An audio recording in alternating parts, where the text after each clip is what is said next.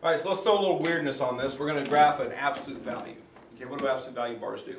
They just turn everything positive. They make everything positive. So if something's negative, it becomes positive. If something's positive, it stays positive. So if I look at just any graph, let's just say a parabola graph.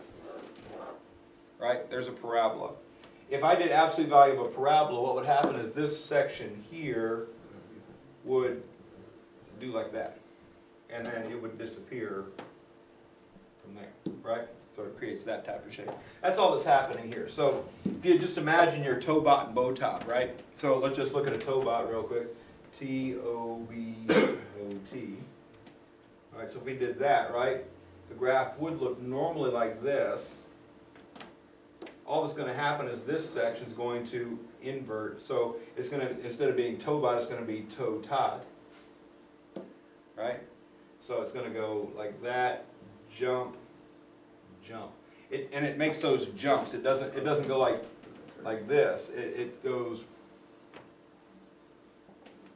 like that, all right, so it jumps. So, um, just imagine that happening, and that's the proper way to draw it. So you wanna hit those sharp curves, so go to the top to zero, back to a top to zero, back to a top, like that. So you wanna get those really sharp turns when you're graphing. That's all absolute value bar is gonna do to one of these things. Um, if there's a minus in front of the absolute value bars, once you get that, that everything on top, it's gonna shift everything to the bottom, right? So again, you can get an idea of where dots are supposed to go and then just draw it properly for that. So, if, imagine the absolute value bars aren't there to begin with. So if I was doing this normally, I would say B is equal to positive one, right? Positive one is greater than zero, so my normal scenario would be top first. So Tobot would be my normal scenario, right? The absolute value bars make the negative turn to a positive, so the B changes to a T.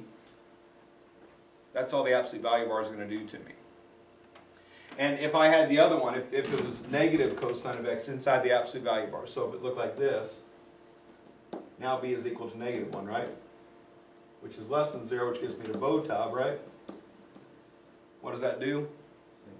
The B's change to T's, right? And what, what do we get? Toe tot again. Uh, So it doesn't matter, if, if all the stuff's happening inside the bars, it's gonna be top, zero, top, zero, top. It's just what it's gonna be. If it was sine instead of cosine, now it's gonna be zero, top, zero, top, zero, right? O-to-to, no matter which one you have, right? So again, keep that in mind. What does the absolute value bar affect? And what it's gonna do is it's gonna make the bottom thing pop up to a top every time. So wherever a bottom occurred in the original scenario, change it to a top. Uh, as far as the other thing, C is equal to one, which gives me a period of normal two pi over one, which means I'm gonna go up.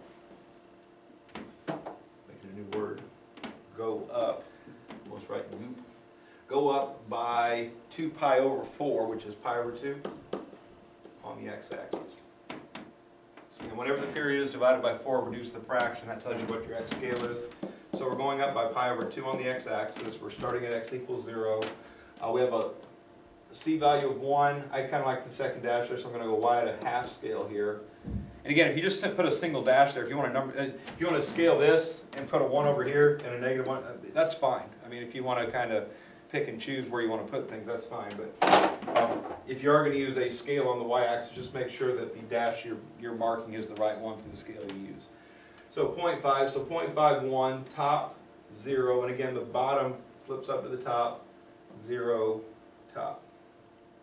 And notice, again, that the tendency of people first doing this is they wanna do these nice, smooth little things like that.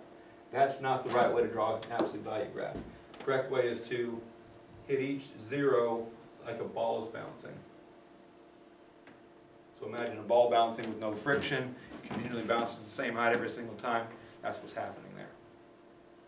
All right?